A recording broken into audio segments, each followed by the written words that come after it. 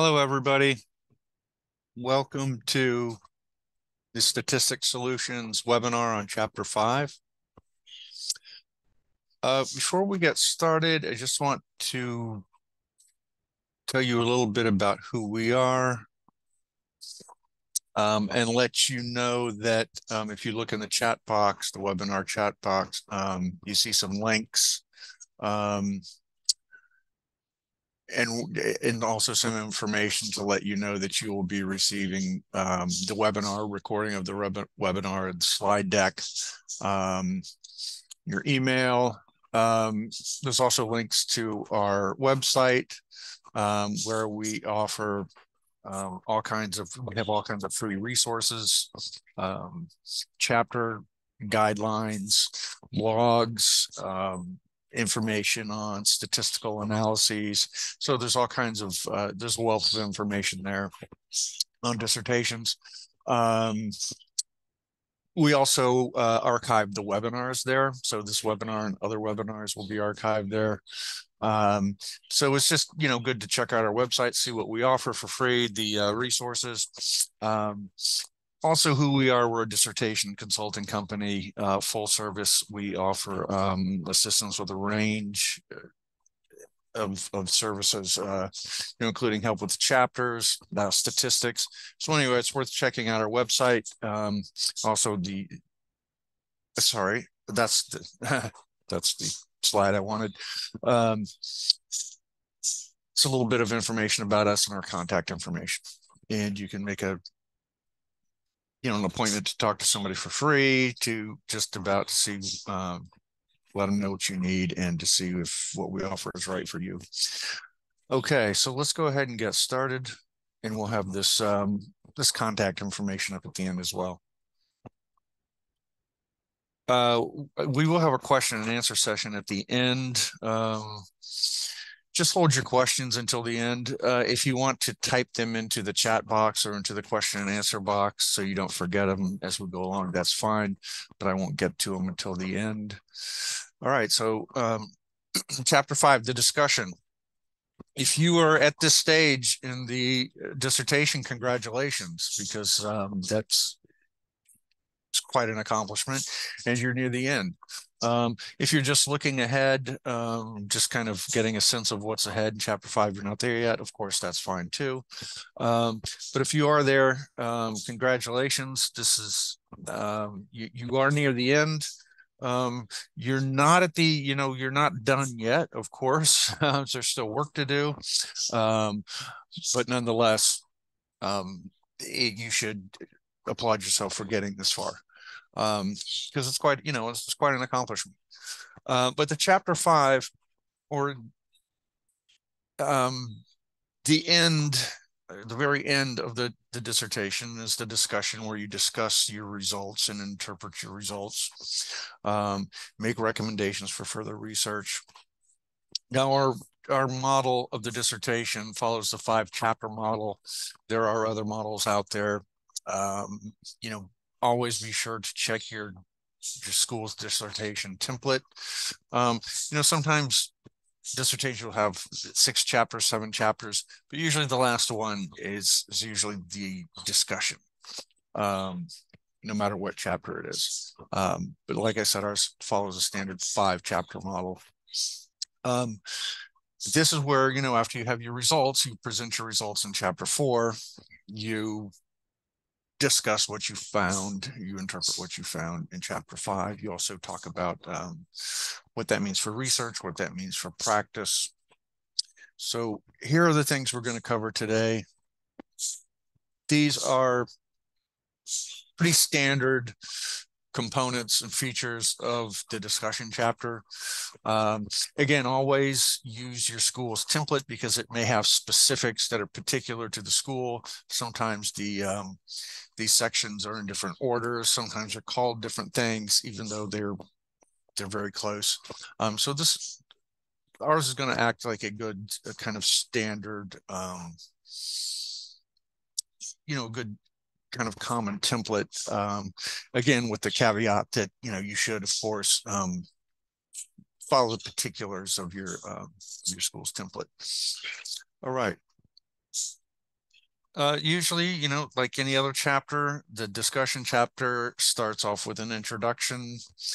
Um, usually just to get started, the, the, the introduction is usually not going to be long. Um, it's best to remind the reader um, of what you know your purpose and why you conducted your study. So a good way to do that is just to restate the purpose of your study at the very beginning. The purpose of this study was to just to remind the reader of its purpose. Now when you do restate the purpose anywhere in the study um, your purpose is kind of like your research questions in the sense that once your research questions are nailed down um, and once your purpose is nailed down, it doesn't change. In other words, if you have to restate it, um, the purpose statement, if you have to restate it somewhere um, else in the study again, um, you use you use that language verbatim. You don't change it, right? Because that that encapsulate what's uh, what's your study's about. Same with the research questions. Um, they don't change. The wording doesn't change because that matters. That wording. Um, so restate the purpose of your study at the very beginning.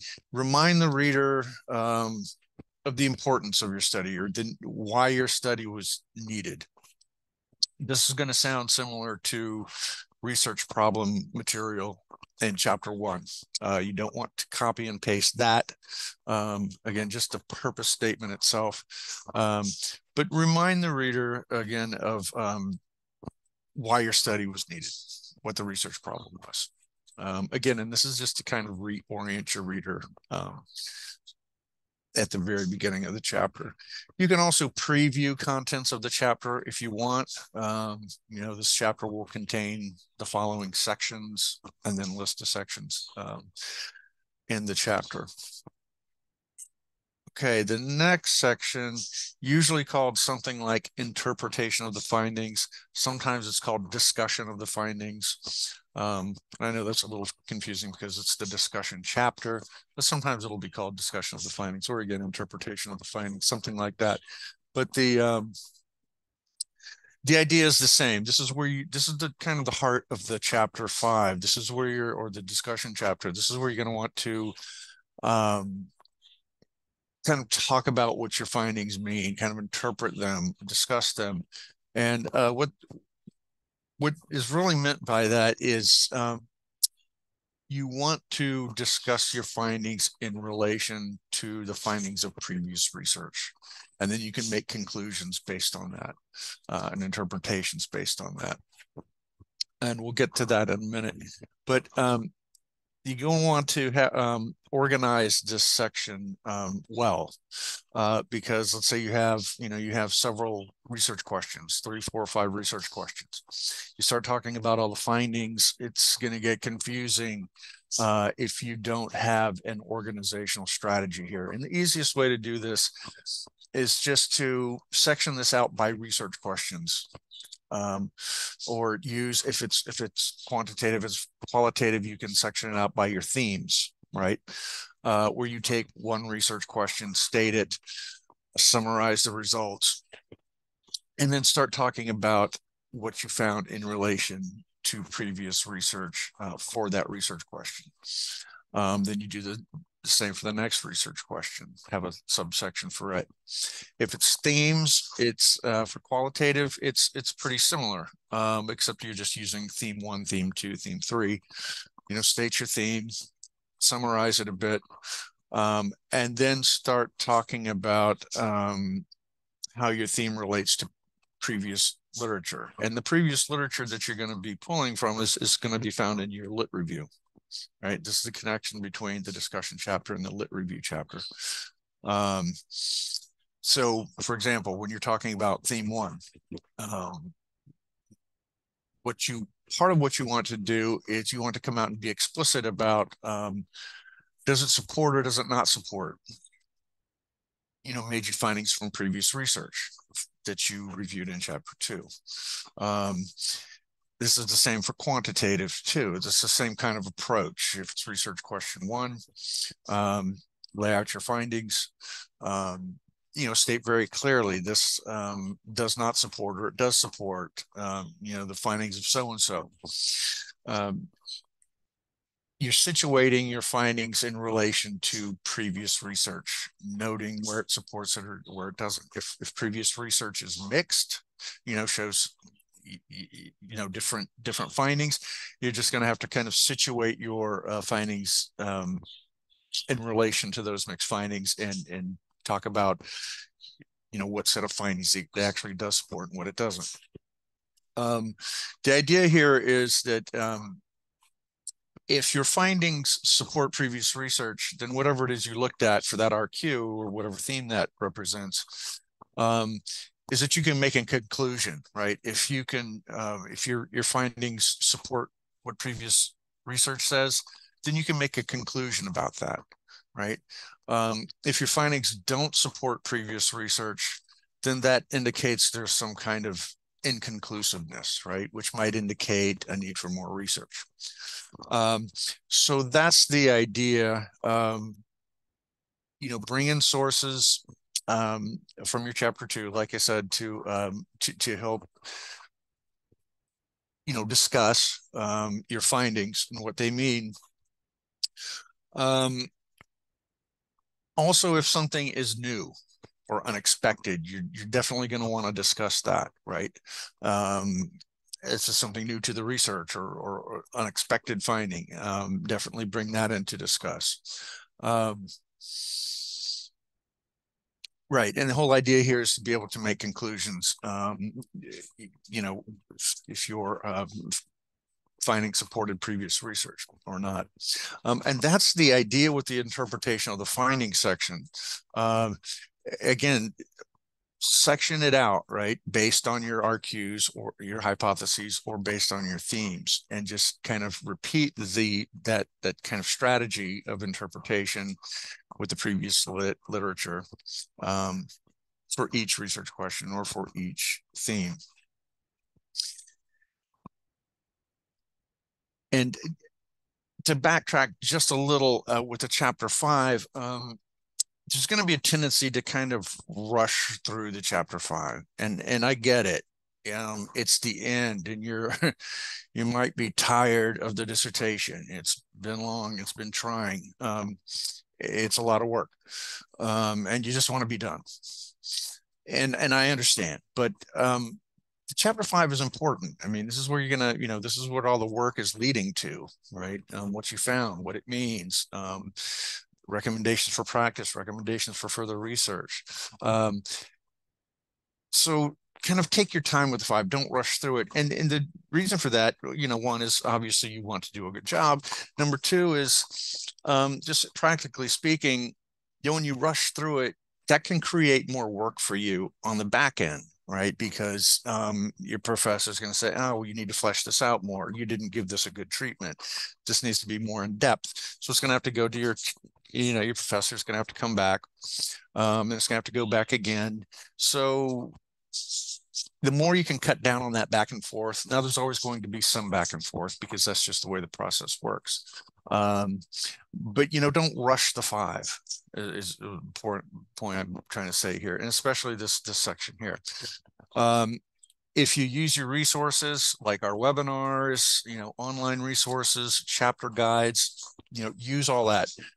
But at the end of the day, too, sometimes it's just there's no better um, kind of piece of help than having an example right, of a chapter or a, a, an approved dissertation from your school, kind of in your area. If you can get one of those, or you know, you probably already have one if you're on chapter five that you've been using. But you know, look at how uh, other people have handled these sections. Look what they put in there um, as an example. Sometimes it's just great to have a concrete example at hand when you sit down to write. Um, if you need to know where to look for um, dissertations, um, ProQuest, um, and you should have access to your academic library. Um,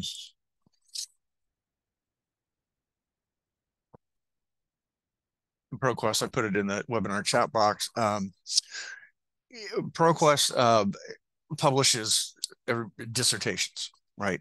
Everybody's dissertation, so they um, you can have access to them. So if you want to go get a, a complete you know, a finished dissertation from your school, you can go to ProQuest and search whatever your school is and um, and find dissertations that are close to yours as examples for some of these sections.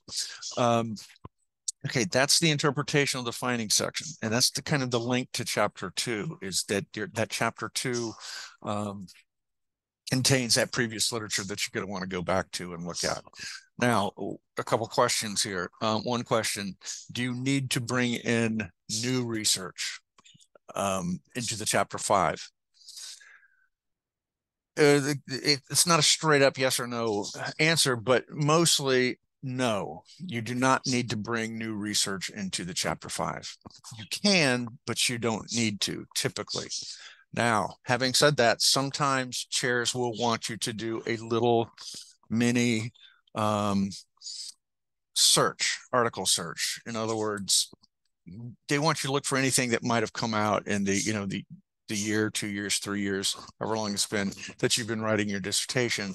They want you to do a little quick search to see if, hey, has anything come out on your topic um, in those few years? Usually uh, it's nothing. Sometimes there might be uh, um, a few articles or studies that have come out. Um, and if, if, that happens, they want you to include those.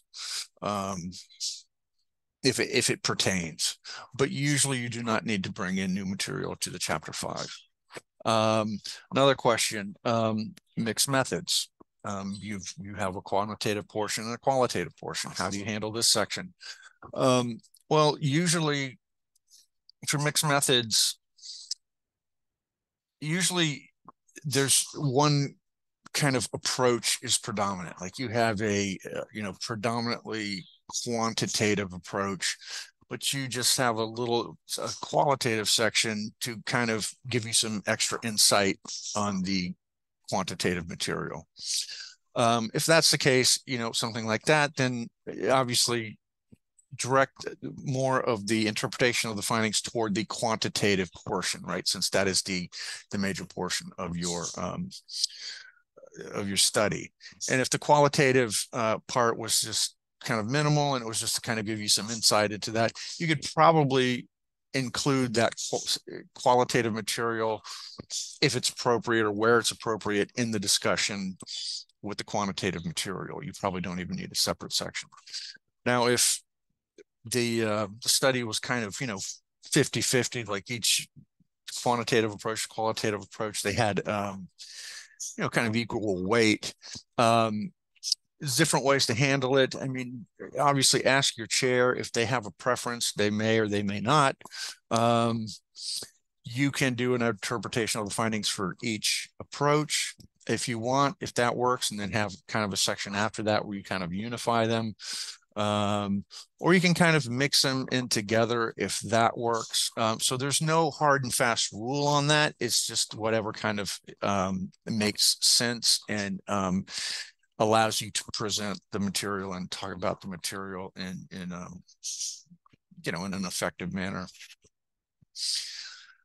Okay, so after the interpretation of the findings section, again, this is the you know this is the meat of the chapter because everything's going to kind of follow from this. Um, usually there's a small limitation section. Um, you know, limitations are things, um, shortcomings, weaknesses that may have affected um, the results of your study. Um, a good thing to do starting off here, I mean, is to um, go back to chapters one and or chapters three, um, because usually in those chapters in the proposal, you talk about limitations. You know, of course, at that point, it's forward looking. Chapter one or chapter three, you're thinking about what might be limitations for the study. So go back to those sections. See if you thought were going to be limitations at the time actually ended up being limitations. Um, that's a place to start. Um, other things to consider about limitations. I mean, a, a major limitation, for example, for um, quantitative research is a low sample size that um, reduces your statistical certainty. It also reduces the generalizability of your findings. Um, so low, sample size would be a, a major limitation of quantitative find, uh, research. Qualitative research, um, you know, if you're too close to a subject, um, sometimes researcher bias can be uh, a, a, potential limitation. If you know that was the case, you would want to talk about it a little bit and then talk about ways that you, you steps you took to mitigate or prevent researcher bias.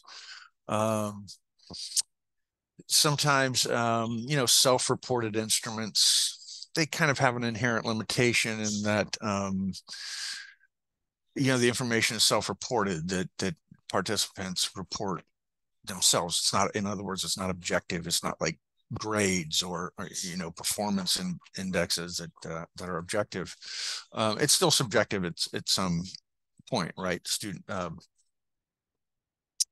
i'm sorry self-reported uh, instruments. Um, so so those are limitations that that can um, affect your your your results. Um, usually in the section, they want you to talk about generalizability of your results to the larger study population. Um, you know, if your if your study is quantitative, um, sample size is like I said that that a big deal. Um, if you met your sample, if you perform G power analysis and you you know you met your sample size requirements, um, chances are you're your results should generalize pretty well. Now there's certain things that are going to affect that up or down. Um, you know, convenient sampling, it's going to kind of reduce your uh, generalizability a little bit. Random sampling increases it. Um, for qualitative studies, um, your results are not, qualitative studies usually involve interviews. Um, and usually involve a low sample size, and that's by design. So if you interv- interviewed, say, 10 people, um, that's by design because you can't, you know, you can't under you you can't um, interview 100 people. Um, also, you don't need to. There's something called saturation where you you start getting the same answers over and over. So you really don't need to um, interview that many people. So you interviewed 10 people. That's a low sample size.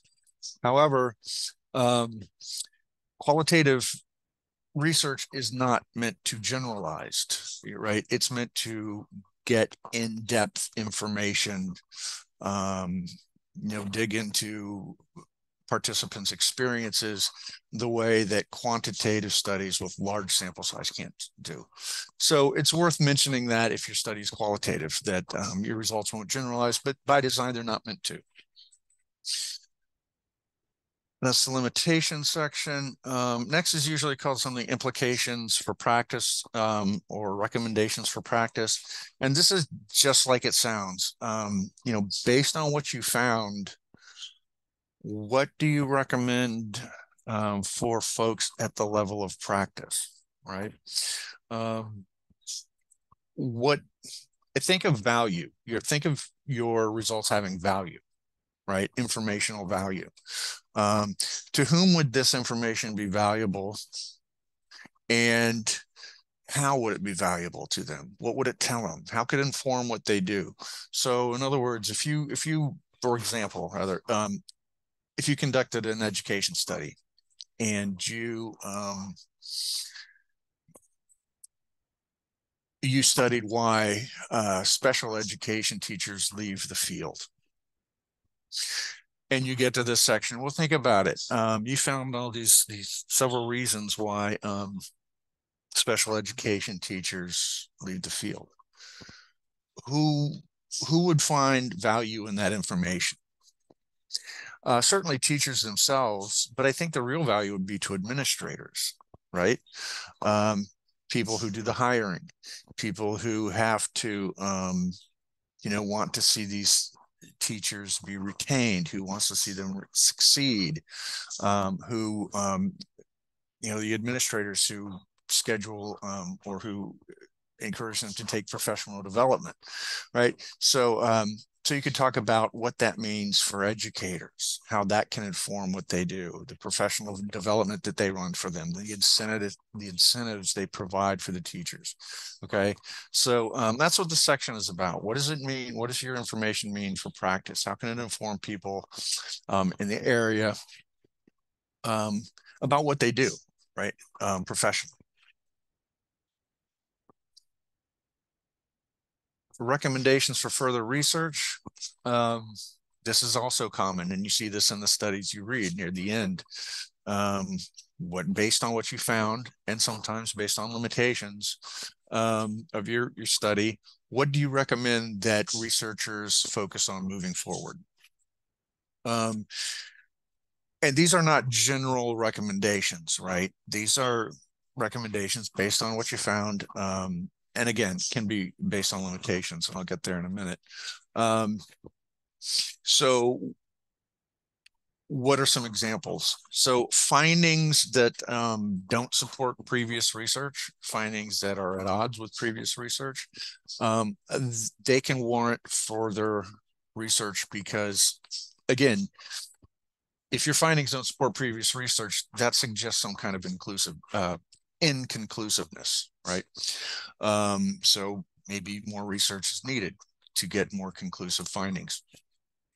Uh, any finding that is novel or that is unexpected definitely deserves to be mentioned uh, for further research.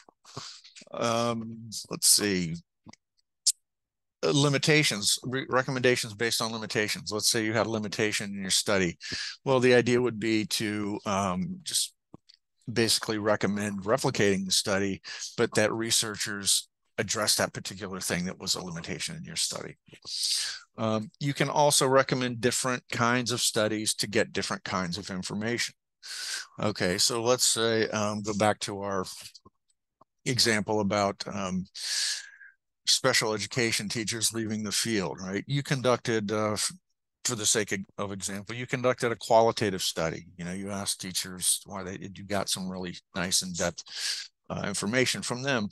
But um, you could recommend that if we wanted to understand this phenomenon uh, more holistically, more comprehensively, you could do a case study, right? Where you could then you could ask the teachers, you could also talk to administrators, right? Um, principals, see what their take is on it.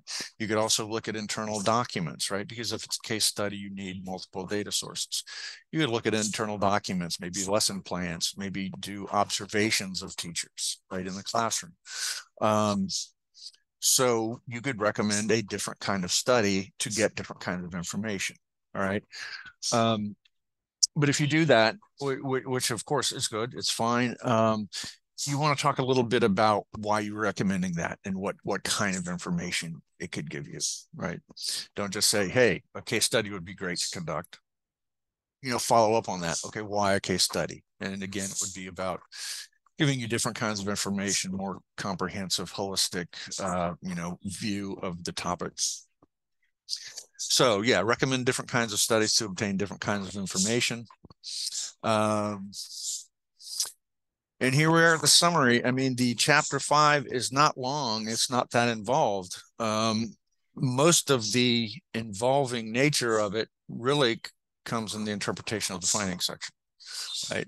And then, and then putting your head to, you know, what are you going to you know recommend or discuss for the implications for practice and the, and the recommendations for further research. Now, consult your template. Again, I'm going to say it. Um, I know I've said it a few times, but I'm going to say it again because some schools let you end at recommendations for future further research. Okay. Um, some schools want a summary or a conclusion at the end, um, which is fine. If if they do want a conclusion or a summary, um, you know, remember that it's a summary for the chapter. Um, so you want to recap the most important points of the chapter, just like any summary, but it's also the end of your study, right? Um, so you want a good take-home message.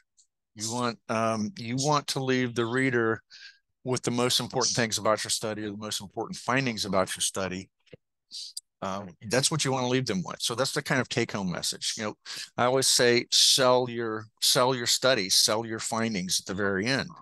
Um, you know what was important about it what you know what what what made it significant what made it important um, even if your findings weren't significant i know i just used that word um, that's okay people get, sometimes get discouraged and so you're a researcher you you you know you you get what you get um, but insignificant findings can still tell us things right um, insignificant findings or non I say non-significant findings, they still they still can tell us something.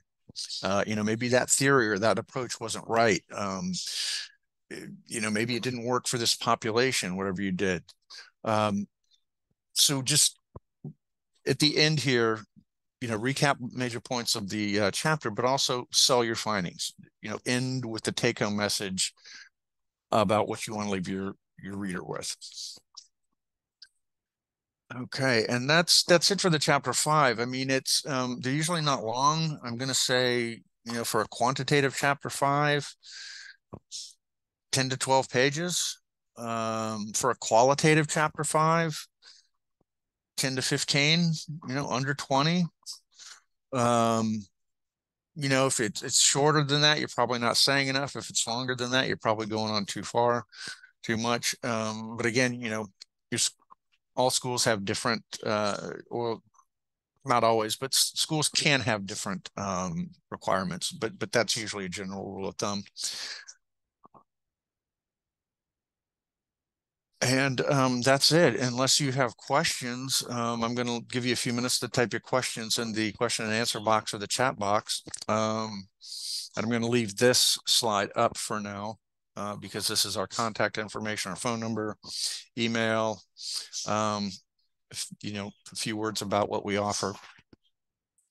So if you have questions and um,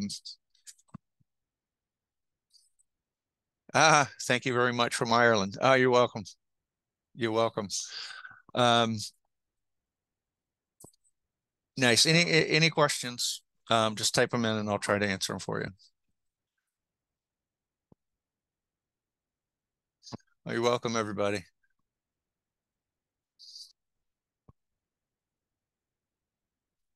Great, thank you, everybody. Doesn't look like there's any questions. Um, remember, you're going to get a copy of this. Um, check out our website. We have uh, all kinds of free resources on there, blogs, chapter uh, guides, everything else. Um, great. You're welcome, everybody. Thank you for the kind words and uh, have a great rest of your day. Thank you.